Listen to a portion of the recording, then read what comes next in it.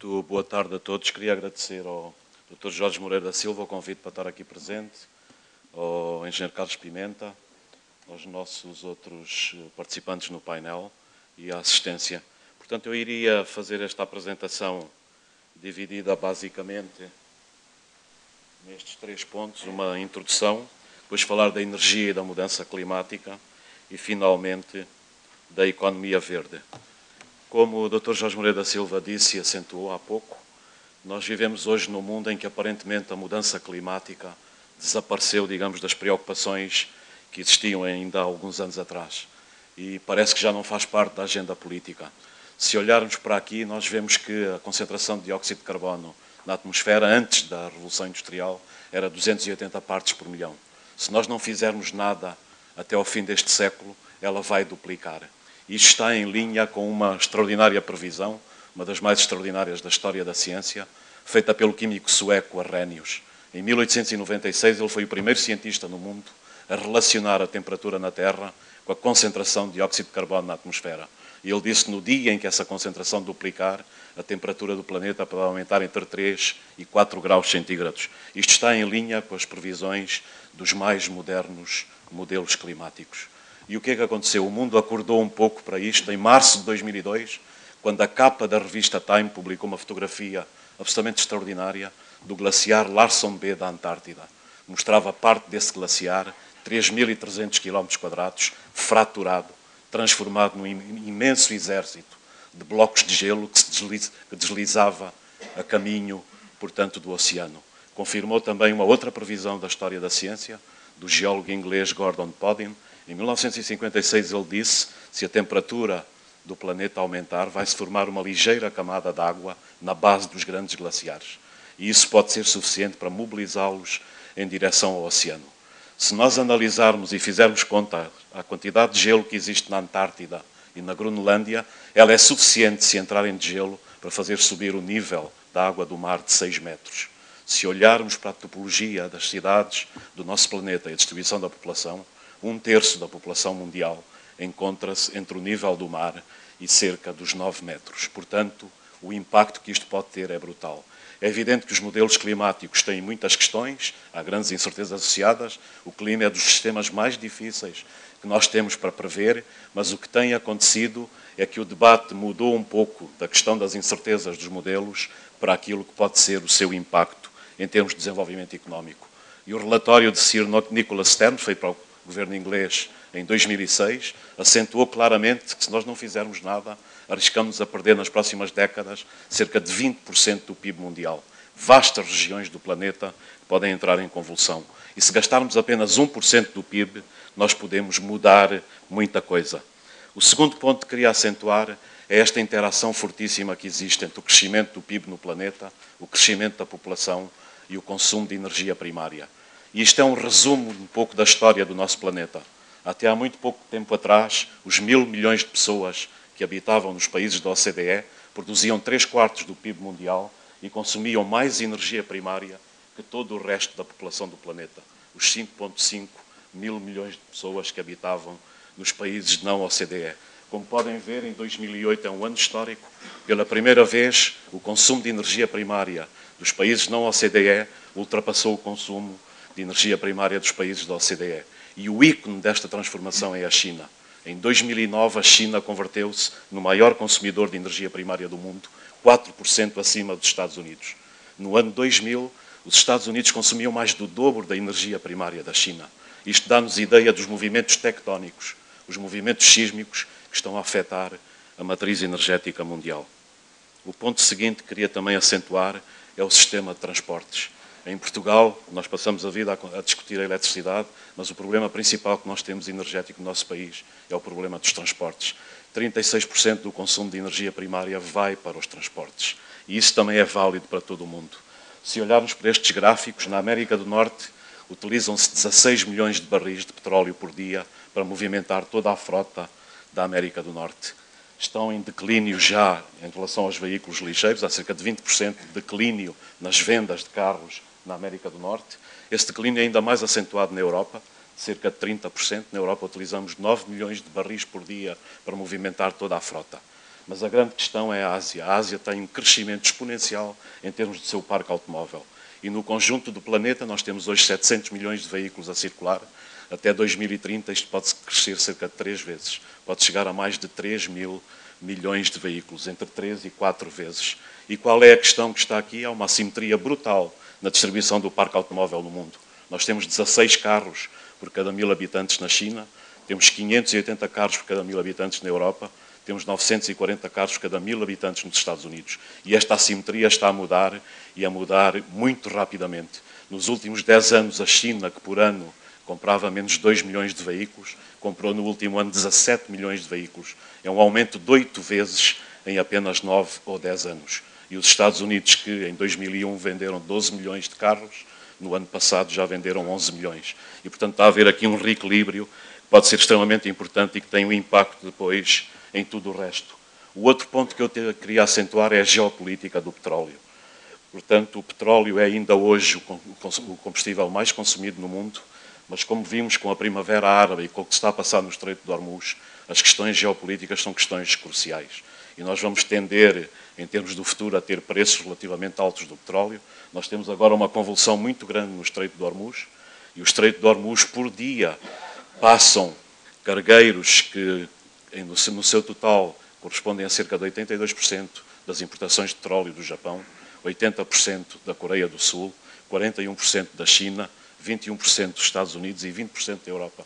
Quer dizer, se o Estreito de Hormuz houver, por qualquer acidente, o encerramento, nós podemos ter a paralisia da economia japonesa e sul-coreana e a semi-paralisia das economias chinesa, europeia e dos Estados Unidos. E, portanto, esta dependência acentuada desta matéria-prima estratégica tem que mudar sob pena das grandes vulnerabilidades do planeta se acentuarem ainda mais.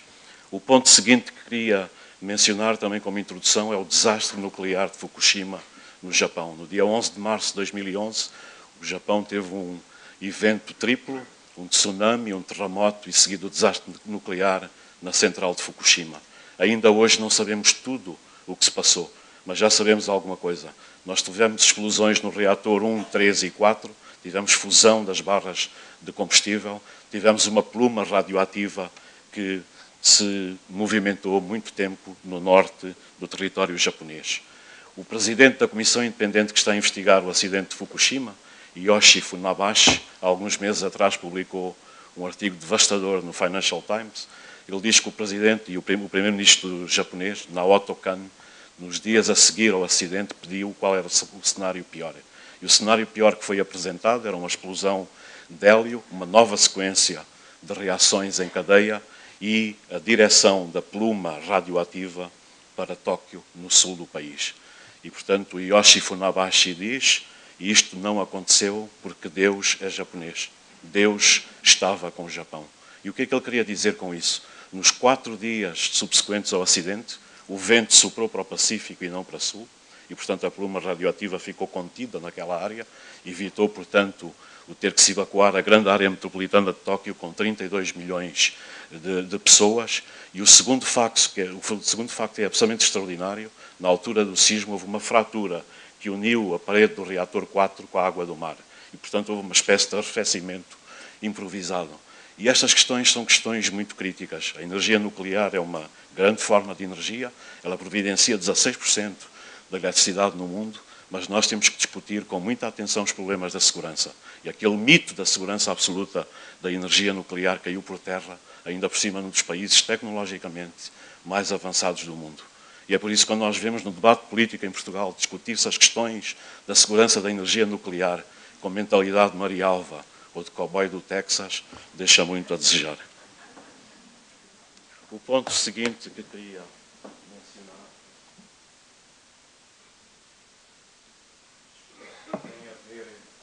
com o futuro do nosso planeta. Nós temos aqui um resumo do que temos hoje, em 2012, e o que é que pode acontecer até 2030.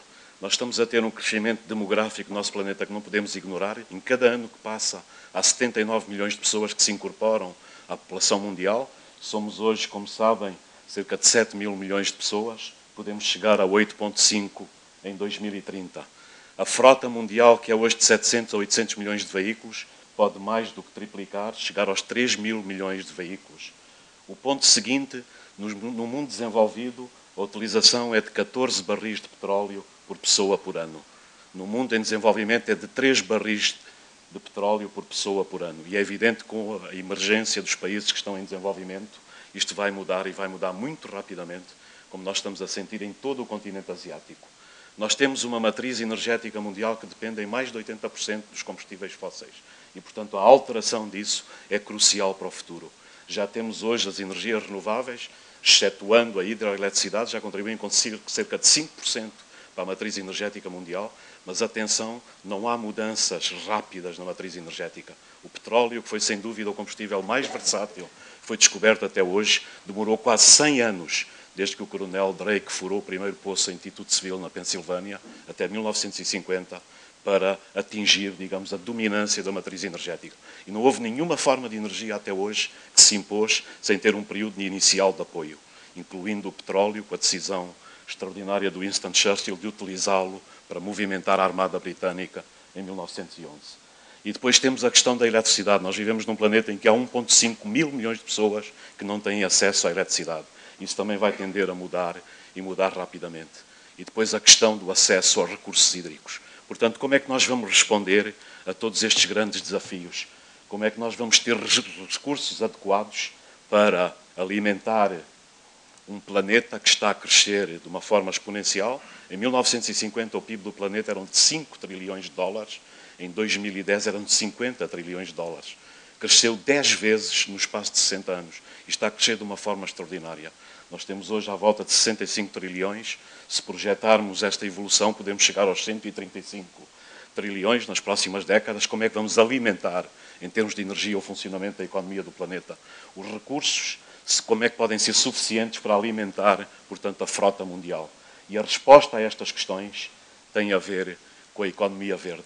Só é possível se nós mudarmos a matriz energética, se reduzirmos a dependência dos combustíveis fósseis, se limitarmos as emissões de CO2, se fizermos savings em termos da, da, do consumo e do uso da energia. A segunda parte da apresentação tem a ver com a questão climática e incidi aqui propositadamente porque hoje ela está um bocado desaparecida do debate. E se olharmos para, para o crescimento das emissões de CO2, até 1950 o crescimento era da ordem de 1%, 1,2%, a partir daí o crescimento é de mais de 3%. E nós já chegamos, no ano 2000, a 25 mil milhões de toneladas de CO2 por ano emitidas. Atenção, os climatólogos dizem que o máximo que nós devíamos atingir são 23 mil milhões de toneladas para a temperatura do planeta não subir acima dos 2 graus centígrados. Sabemos que 57% das emissões são relacionadas com o uso dos combustíveis fósseis, 20% com a questão do uso da terra, 23% com os outros gases de Quioto. Mas se olharmos para a evolução das temperaturas, até 1920, 1930, nós tínhamos ciclos de arrefecimento e de aquecimento no planeta, em relação à temperatura média global. Desde 1930 isso deixou de ser verdade. A temperatura está a crescer e está a crescer continuamente. E se houvesse alguma dúvida sobre isso, o estudo da equipa do professor Richard Muller, da Universidade de Berkeley, que foi libertado em novembro do ano passado, é um estudo que eu considero paradigmático. Primeiro que tudo, o professor Richard Muller é um excelente climatólogo, mas era cético em relação à mudança climática. E quando ele apresentou os resultados do seu estudo no Senado dos Estados Unidos, ele disse: I change my mind, global warming is real.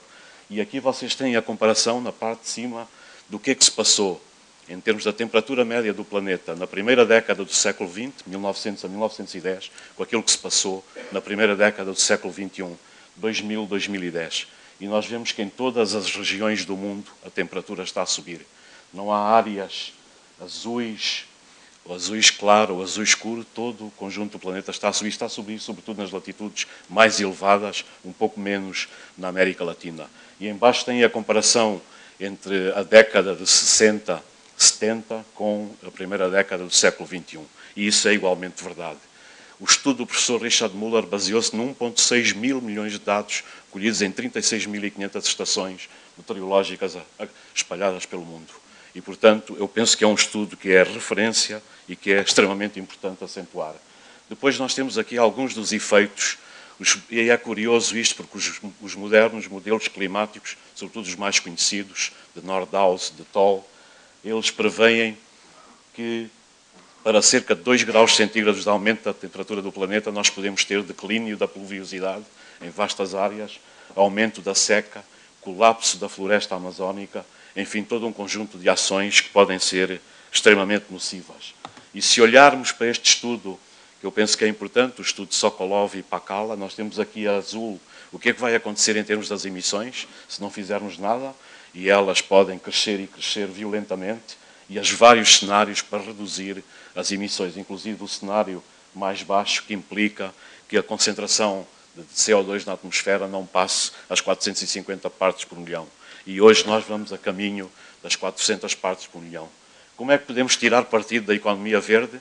Este estudo dos professores Sokolov e Pakala deu indicações. Nós temos aqui várias fatias e isto é extremamente curioso. O que falta é vontade política, clarividência nas políticas públicas e junção, digamos, articulação dos vários interesses das forças económicas, sociais, políticas. Porque cada uma destas fatias corresponde a medidas que podiam ser tomadas. Uma delas é substituir as centrais a carvão, 50% das centrais a carvão por centrais a gás. A outra fatia é substituir as outras 50% das centrais a carvão por eh, energias renováveis. Outra fatia tem a ver com a questão dos edifícios. Portanto, reduzir a utilização de energia nos edifícios com edifícios mais inteligentes. Uma outra fatia tem a ver com o sistema de transportes. Portanto, fixar estándares para a indústria automóvel, e isso foi fixado no passado. Os carros hoje, com a mesma quantidade de combustível, percorrem o dobro da distância que percorriam em 1973. E, portanto, um mundo sem CO2 é, é o objetivo fundamental. Para vos dar uma ideia, só em termos do gás flaring, a indústria petrolífera hoje continua a queimar por ano 150 mil milhões de metros cúbicos de gás, sobretudo na Rússia e na Nigéria. Isto, como não é muito eh, palatável pelos órgãos de comunicação, não é mediático, continua a acontecer ano após ano e não se faz nada relativamente a isso. Há a questão do design mecanismo, portanto, tem que haver mecanismos de mercado que associem portanto, as empresas à redução das emissões de CO2. E o cap and trade provavelmente tem que ser revisto e combinado com um esquema mais híbrido para fazer funcionar. A questão da China. Na China, em cada cinco dias, abre uma nova central a carvão. 70% da matriz energética chinesa depende do carvão e o carvão é o combustível mais poluente que existe. E é curioso que as autoridades chinesas já têm essa convicção. O Ministro do Ambiente, há dois ou três anos atrás, fez uma declaração a dizer que o ambiente pode ser a principal vulnerabilidade de, da China em termos de seu desenvolvimento futuro. E eu penso que aqui o que está acontecendo na China, como no México e noutros países, é um approach, digamos, de bottom-up. São os países, as suas várias instâncias, que são confrontados com estes problemas que começam a galvanizar-se, porque o modelo da arquitetura global, a governance global do planeta, tem muito, tem muito que, que, que, que se, se diga. Em relação à equação energética, e este é o ponto que eu queria mencionar, nós nas próximas três décadas o aumento do consumo de energia no nosso planeta vai ser de cerca de 50% a 60%.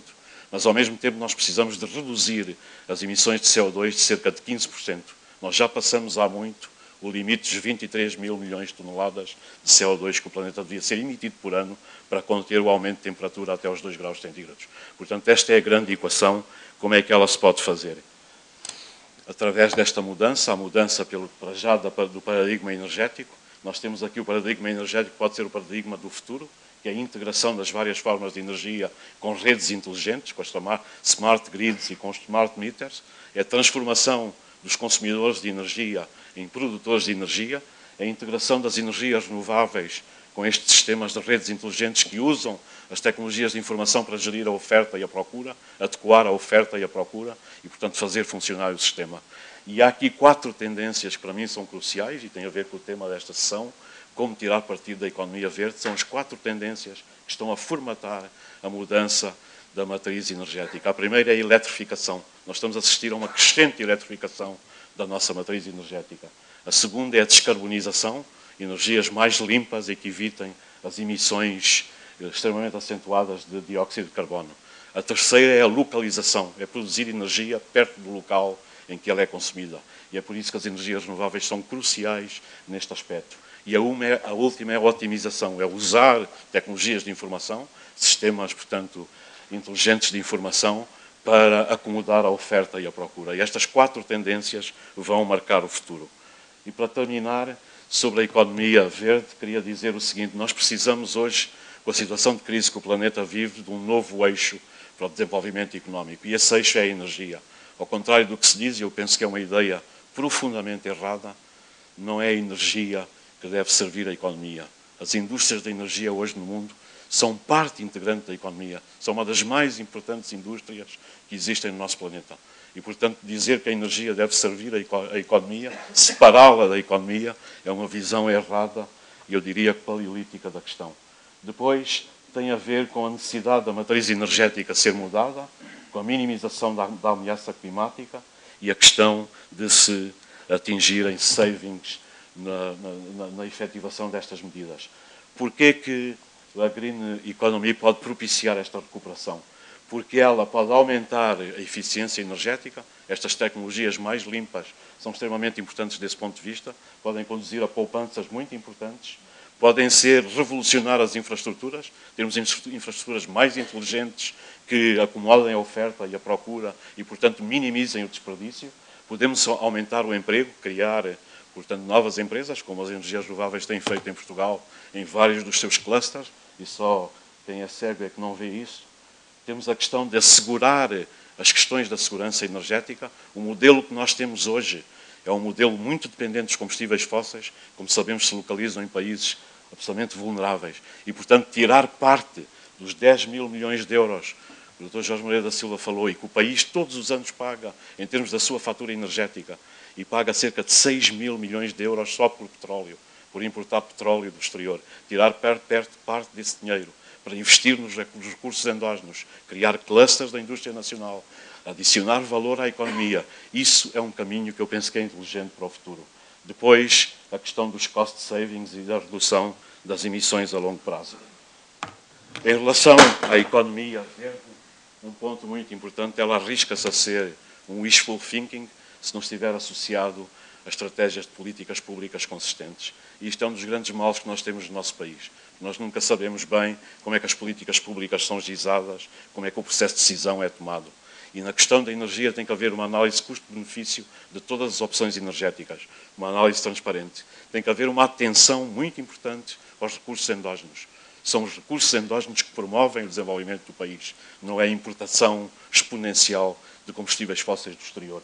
E, portanto, estes aspectos parecem aspectos muito importantes. É evidente que isto implica uma mudança radical na visão, uma mudança radical no paradigma.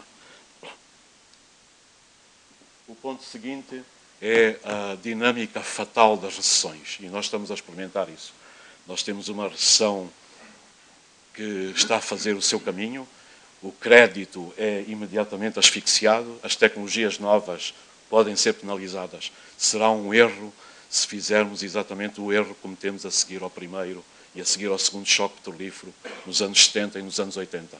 Também nessa altura se começaram a desenvolver os clusters das energias renováveis, das energias alternativas, e quando o preço do petróleo entrou em declínio, tudo desapareceu, com exceção da energia nuclear.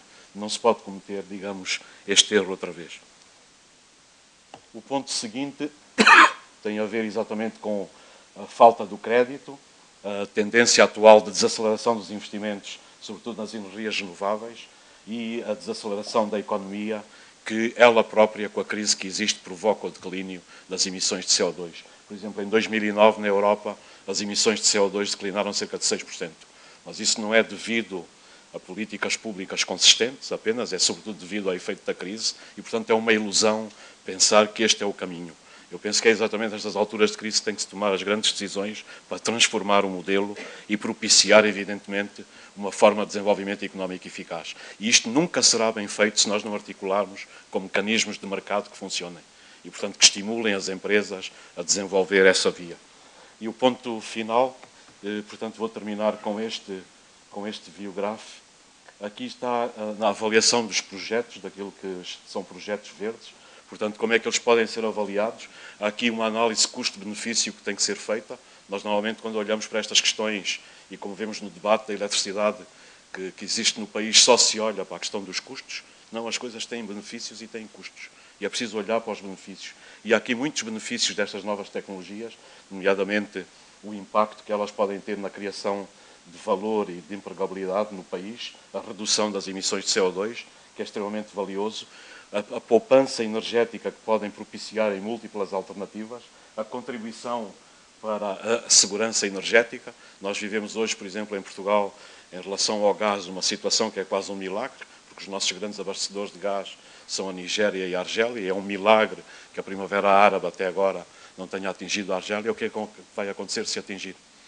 E faz sentido, nesse caso, desapostar, como eu está a tentar fazer nas energias renováveis, nos clusters das energias alternativas que se criaram, podem propiciar uma almofada de defesa, não é consistente. Portanto, um modelo equilibrado tem que ter um mix das várias formas de energia, elas têm que ser competitivas, têm que ser económicas, mas nós não podemos matar, digamos, a galinha dos ovos de ouro, que é o desenvolvimento dos recursos endógenos do país. E, portanto, os outros pontos têm a ver também com a compatibilidade de todo este modelo com o desenvolvimento económico, que eu penso que é possível e como se comprova em múltiplas uh, vertentes. Muito obrigado.